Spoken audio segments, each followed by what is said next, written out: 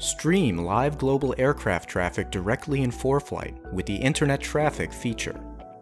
In partnership with FlightAware, ForeFlight allows you to view airborne traffic around the globe and ground traffic at thousands of airports worldwide to help you gauge airport activity like active arrivals and runways, see how ATC vectors traffic around weather, or assist with plane spotting on the ground. Internet traffic is included in all ForeFlight subscription plans. Internet traffic is associated with the same map layer as ADSB traffic and is selectable whenever you're connected to the internet on the ground or via in-flight Wi-Fi like GoGo and Satcom Direct.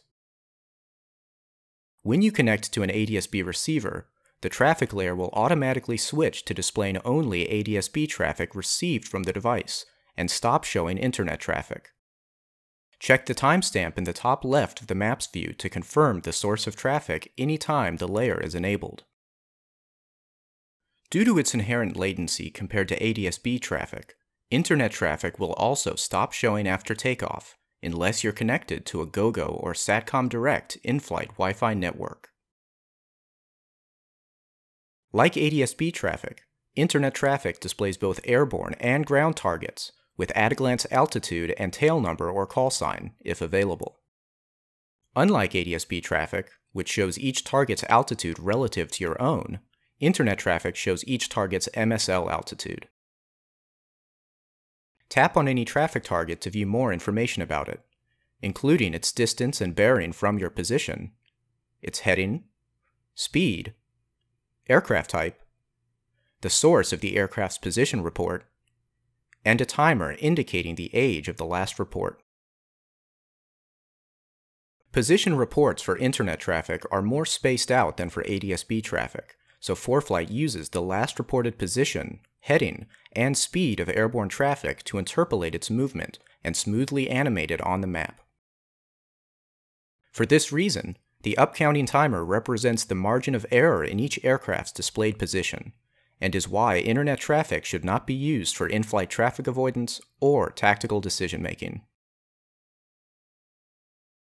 ForeFlight also filters what traffic it displays to minimize clutter and excessive data usage.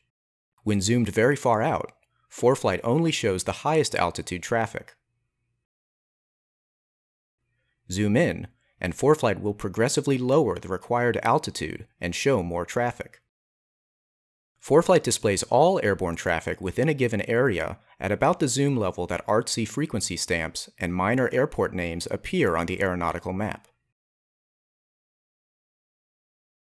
Ground traffic fades into view in conjunction with ForeFlight's embedded airport diagrams, while high altitude traffic is hidden at this level.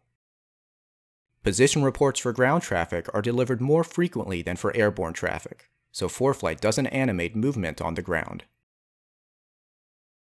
With the ability to stream live global traffic from your home, hangar, or FBO, internet traffic opens new avenues for enhancing your flight planning, checking on airport activity, or simply enjoying the view of what's going on overhead. Learn more about internet traffic at foreflight.com/traffic.